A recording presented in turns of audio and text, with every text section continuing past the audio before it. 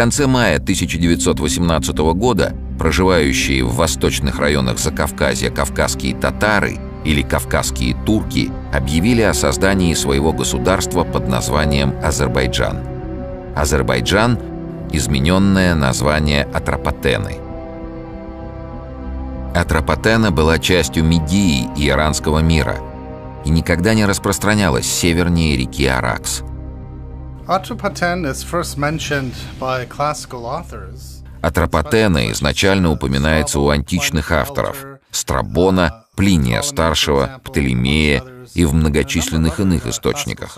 В них строго последовательно отмечается, что область Атропатена располагалась к югу от Аракса, где сейчас находится иранский Азербайджан. Нет такой единицы, как Азербайджан, к северу от Аракса, к северу от иранского Азербайджана. Подобной исторической единицы никогда не существовало. И только в 1918 году подобная единица была создана, исключительно из политических соображений.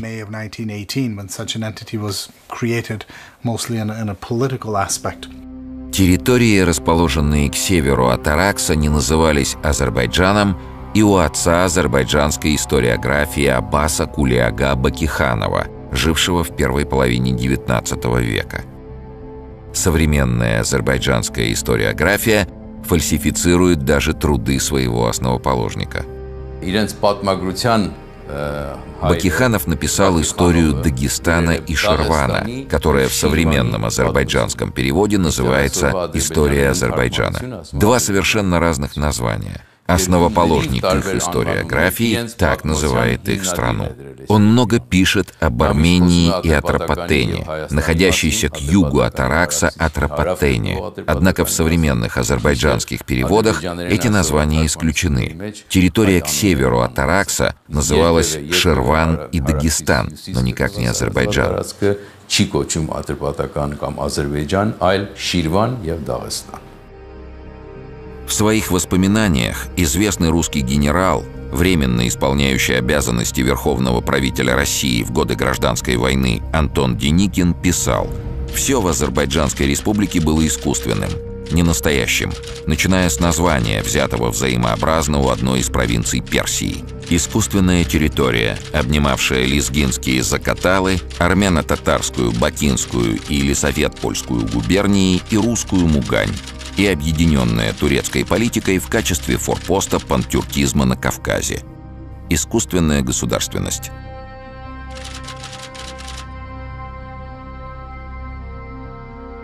Более абсурдным является история этнического самоназвания «азербайджанец».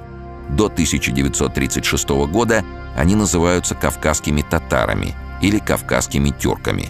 Именно так они названы и в переписи населения СССР 1926 года. И только в 1936 году, перед принятием новой Конституции СССР, по указу Сталина тюркский язык Азербайджана был официально переименован в азербайджанский язык, а тюрки Азербайджана в азербайджанцев. Такова действительность, Этническое самоназвание народа было создано на основе украденного у соседнего Ирана термина «Азербайджан» и по указу Сталина. Называя восточную часть Закавказья Азербайджаном, пантюркские деятели преследовали далеко идущие цели – объявить эту территорию Северным Азербайджаном и в дальнейшем вместе с иранским Азербайджаном создать одно турецкое государство – Сегодня шаги в направлении достижения этой цели еще более активизировались. И не случайно, что созданное на незаконном основании государство имеет столь же незаконные претензии к соседним государствам, население которых является коренным и имеет многовековую историю и связь с исконно своей землей. В 1968 году в Ереване отмечалось 2750-летие города – что с тех пор стало доброй традицией. Каждый год в октябре армяне отмечают День города, день рождения своей столицы. В противовес этому и с целью в очередной раз исказить историю, в 2011 году в Баку при финансовой поддержке президента Азербайджана Ильхама Алиева было организовано мероприятие, 500-летие Ереванской крепости. Азербайджанцы утверждают, что Ереван якобы был основан Ревангули ханом в начале XVI века, откуда, собственно, и идет название Ереван. Для подобных утверждений нужно быть, по крайней мере, невеждой, так как еще до XVI века Ереван со своей крепостью упоминается сотни раз. Еще в VII веке Ереванская крепость противостояла арабам и осталась незавоеванной. В 1387 году защищалась от нашествия Тамерлана. В конце концов, как мог Ереван быть основан в начале XVI века и быть назван именем Реван-Гули, когда за два века до этого, в первой половине XIV века, монгольские правители Абу Саид и Анушерван чеканили в Ереване монеты, на которых, кстати, выгравировано и название города – Возведенная на государственный уровень азербайджанская фальсификация истории не ограничивается искажением истории Еревана, но и распространяется на историю Армении и всего армянского народа. Еще в 1990-х годах предыдущий руководитель Азербайджана Гейдар Алиев, отец нынешнего президента республики Ильхама Алиева, отдал распоряжение азербайджанским историкам переписать историю соответствующим азербайджанским представлениям образом и, конечно, в свою пользу. Фальсифицирование истории в Азербайджане становится государственной политикой. В Азербайджане вот еще со советских времен хорошая школа была, но, к сожалению, она в значительной степени задавлена. Те люди, которые вообще что-то говорят и вообще смеют что-то сказать, они просто их преследуют. Их преследуют люди, которых поставили по политическим мотивам и которые достаточно далеки от науки. Это их проблема, это проблема вообще, к сожалению, азербайджанской науки, гуманитарной в настоящее время, просто из-за того, что, допустим, человек э, пришел на основании объективных исторических данных каким-то выводом. Если эти выводы не устраивают политическое руководство, это просто не, не, не является признаком. А если когда делают, раньше наука была служанка религии, теперь ее делают служанкой политики. В результате этой государственной политики исконно азербайджанскими объявлены не только армянские земли и памятники культуры, но и история и культура других соседних народов. Например, Персидское Сифивидское царство объявлено азербайджанским государством, а великий персидский поэт Низами – азербайджанским турком –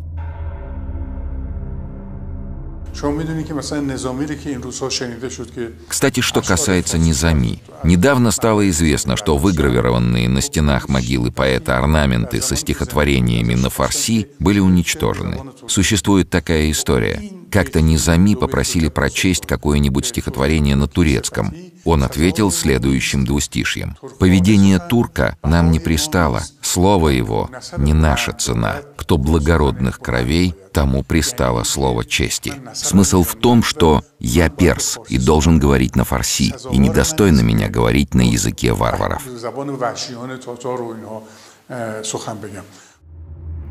Один из постулатов азербайджанской фальсификации в том, что до 15 века армяне не проживали на территории Республики Армения. Чтобы оценить степень нелепости данного утверждения, достаточно бросить беглый взгляд на известные древние карты мира, авторы и издатели которых, кстати, вовсе не являются армянами. Հերոդոտոսը իր աշխատանքների մեջ նշում է Հայաստանը, նշում է նրա գտնված վայրը, Տիգրիսի եւ Եփրատի գետերի շրջապատում ներսում դրանցից հյուսիս գտնված տարածքը Отец историографии Геродот в своих трудах упоминает Армению, отмечает ее место расположения, расположенную к северу от истоков Тигра и Ефрата территорию. А немецкие и английские картографы, которые на основе трудов Геродота создали впоследствии карту мира, отметили территорию под названием Армения почти в центре мира. Эратосфен, который жил в третьем веке до Рождества Христова, в своих трудах также отмечает Армению. А на картах, созданных на основе его трудов, а также на основе трудов других античных авторов, Армения опять же находится в центре мира. պատրաստած գրած գրությունների հիման վրա պատրաստված քարտեզները բոլորը բոլորը ինձ կենտրոնում ունեն Հայաստանը этот ряд можно продолжать еще очень долго и рассматривать многочисленные карты известных авторов древнего мира и средних веков – Страбона, Птолемея, первого представителя классической арабской географической школы Ал-Истахри. На всех этих картах упоминается Армения и обозначается как территория между Черным, Каспийским и Средиземным морями. А где же находится Азербайджан? Азербайджан Атропатена – это Мидо-Персидский район, который никогда не распространялся севернее Аракса. Об этом свидетельствуют даже мусульманские географы – на исламских картах, естественно, более подробно отражены исламские страны. Среди карт мусульманской духовной школы Балха есть карта, которая называется Азербайджан, Аран и Армения.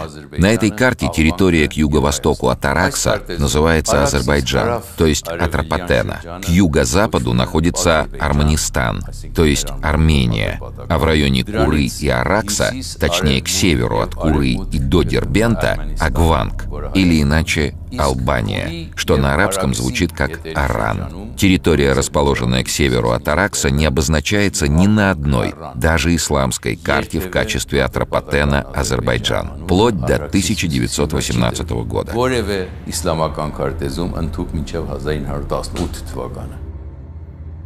با هدف جدا کردن آذربایجان از آذربایجان ایران و بعد در صورت امکان دستاندازی به آذربایجان ایران вы знаете, что эта местность называется Аран. И во всех источниках мы находим его под названием Аран. Азербайджан же находится в низине Аракса, и по сей день старики этого Азербайджана не называют его так, а называют Араном. Так уж врезалось в их память.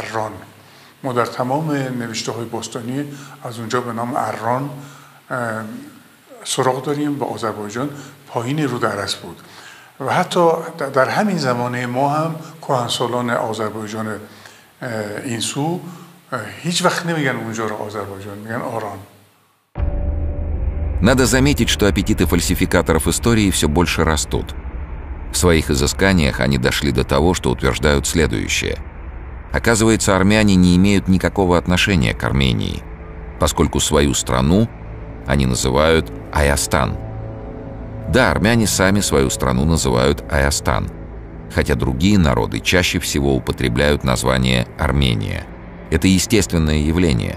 Например, соседняя с Арменией Грузия на армянском звучит как «Врастан», на грузинском – «Сакартвело», на русском – «Грузия», на английском – «Джорджия», на турецком – Гюрджистан. Искать подтверждение тому, что Аястан и Армения — это разные государства, просто смешно. Все равно, что доказывать, что Врастан, Сакартвела, Грузия, Джорджия и Гюрджистан — это пять различных государств.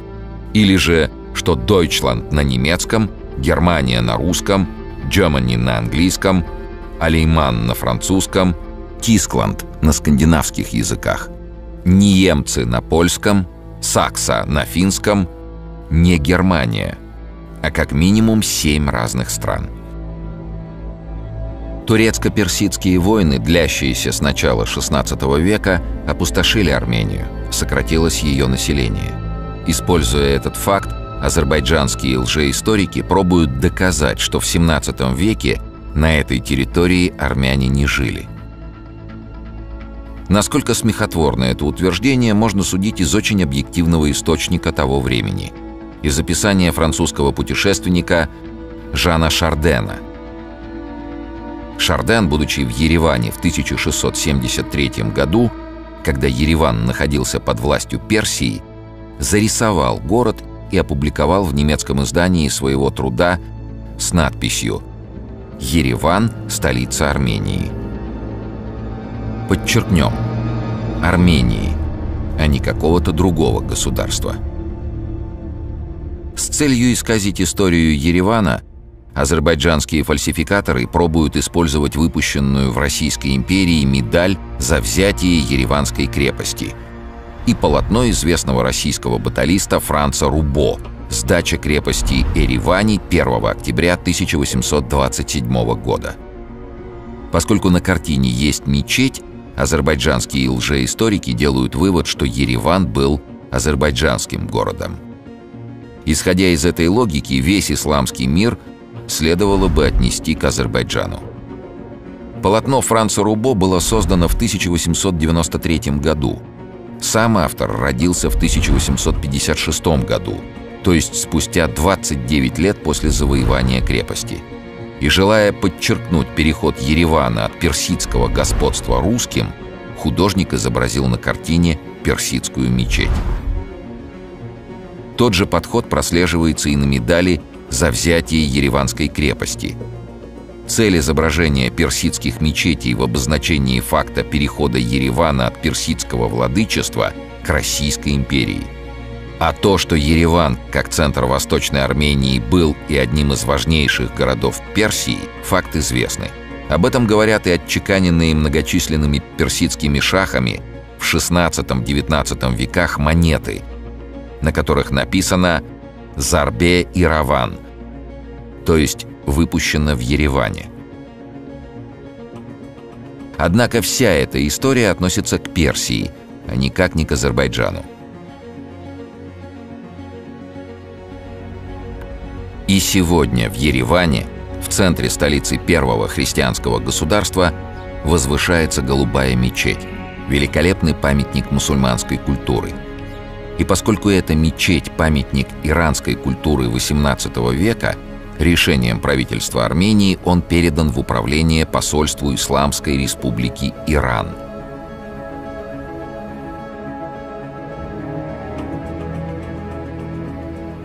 Такой же справедливый подход осуществлен по отношению к другому мусульманскому памятнику, находящемуся в окрестностях Еревана – Управление построенным в 1413 году мавзолеем времен туркменского государства Карака-Юнлу передано посольству Туркмении в Армении. Кстати, туркменское государство Карака-Юнлу азербайджанскими фальсификаторами также объявлено азербайджанским. Одна из любимых тем азербайджанских фальсификаторов – ереванские мечети – в исторических источниках отмечается, что на территории Эреванской крепости в XIX веке существовало две крупных мечети, а в окрестностях еще шесть небольших. Сегодня в Ереване сохранилась одна из двух вышеупомянутых мечетей – Голубая мечеть. Остальные были разрушены при советской власти. Это печальная действительность. Взяв на вооружение политику атеизма, на протяжении десятилетий советские власти разрушали памятники духовной культуры во всех республиках СССР. В Ереване в эти годы также были разрушены и уничтожены многочисленные христианские памятники. В 1930-х годах была разрушена церковь святого Пагоса и святого Петроса V века. В центре города была уничтожена церковь святого Катогике XII-XIII веков. Разрушены церкви святого Григория Просветителя, святого Симеона Церуни, Млера, средневековая часовня Казерна и огромное количество других, имеющих историческую ценность памятников культуры – в 1938 году, несмотря на множество обращений и жалоб армянской интеллигенции, указанием властей были до основания разрушены сохранившиеся фрагменты Ереванской крепости, и на их месте вырос винный завод. Был разрушен и православный Никольский собор, по праву считавшийся архитектурным шедевром XIX века – а построенная в 1913 году русская православная церковь Святой Богородицы в 1930-х перестала действовать, превратившись в кинотеатр. Такова действительность.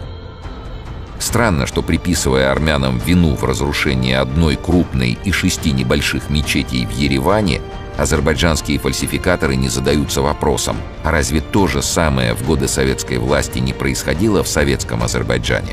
Вспомним, в 1936 году был разрушен значимый памятник культуры – мечеть Биби-Эйбата.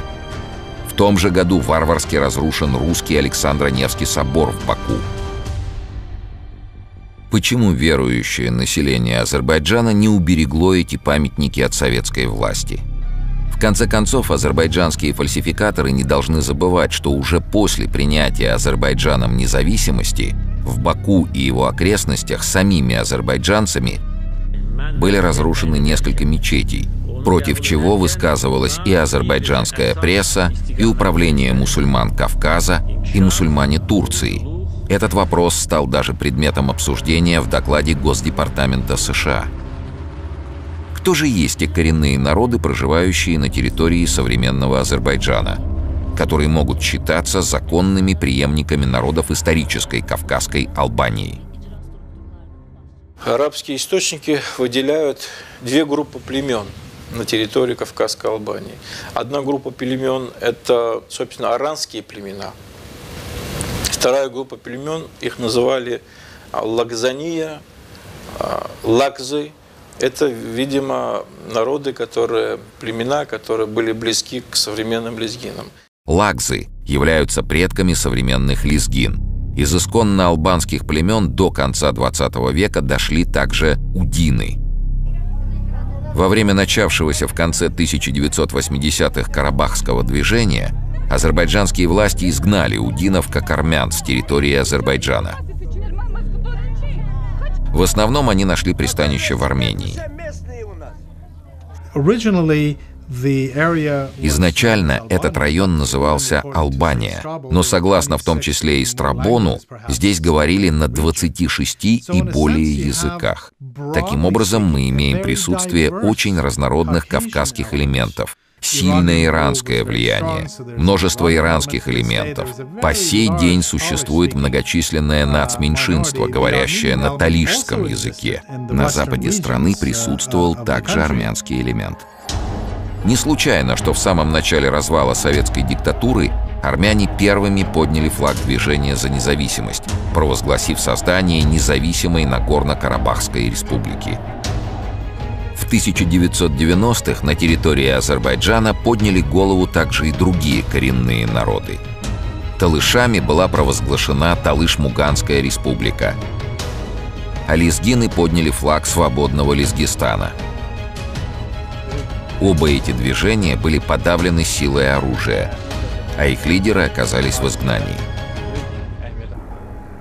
Однако история показывает, что уничтожить дух свободы коренных народов, проживающих на своих исконно исторических землях, невозможно. Как правило, армянские историки игнорируют происки азербайджанских фальсификаторов. Часть их просто-напросто считает ниже собственного достоинства опускаться до их уровня – Другие, следуя народной мудрости, гласящие, что у лжи ноги короткие, отпускают все на суд времени. Оно точно все расставит на свои места. Ученые МГУ, проведя исследование э, учебников истории всех стран СНГ, э, подтвердили, что только две страны из нашего Союза независимых государств, только Армения и Белоруссия не исказили свою собственную историю, не исказили э, общую историю общего нашего Отечества, когда почти 200 лет были вместе, и не исказили историю соседей, то есть э, сохранили, э, как говорят, свою совесть, э, свою, прав, прав, свою правду э, и правду истории. Азербайджанская фальсификация вознесена на государственный уровень. Государственный режим не жалеет средств на продвижение изготовленных по его заказу фальсификаций на международной арене. И что самое страшное, эти фальсификации находят место в школьных учебниках. Ими отравляют азербайджанских детей с самого раннего детства. В учебниках утверждается – что армянские и христианские памятники на территории Азербайджана были созданы их предками, христианскими азербайджанцами. Между делом же, с помощью своей армии средь бела дня, азербайджанскими властями были уничтожены тысячи христианских хачкаров в Джуге, множество других христианских памятников культуры на территории всего Азербайджана – так и хочется напомнить азербайджанским властям, Известное высказывание Авраама Линкольна. Можно обманывать часть народа все время. И весь народ некоторое время. Но нельзя обманывать весь народ все время.